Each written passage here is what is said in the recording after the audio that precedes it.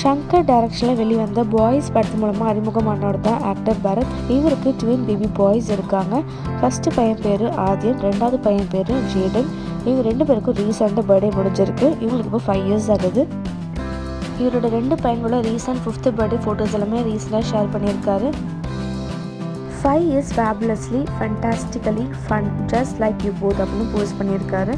Love you both அப்படின்னு post பண்ணியிருக்காரு பரத். பரத் அவரோட சைல்ட்ஹுட் ஃப்ரெண்டான ஜெஷ்லி அப்படின்ற ஒருத்தவங்களை கல்யாணம் பண்ணிக்கிட்டாங்க.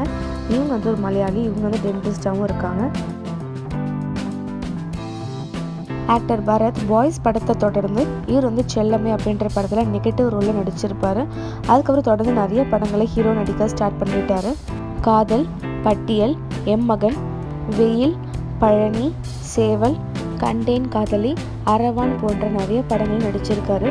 நிறைய படம் சூப்பர் டூப்பர் ஹிட்டாகவும் ஆயிருக்கு. இந்த இயரில் லவ் அப்படின்ற படத்தில் நடிச்சிருக்காரு. வாணி பூஜன் இதில் ஹீரோனை ஆட் பண்ணியிருக்காங்க. இந்த படம் போன மாதம் ரிலீஸ் ஆயிருக்கு தேட்டர்ஸில்